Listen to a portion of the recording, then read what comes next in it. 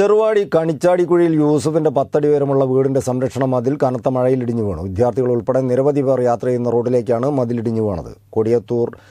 ഗ്രാമപഞ്ചായത്ത് vice president Fasal Kodiyathur സ്ഥലം സന്ദർശിച്ചു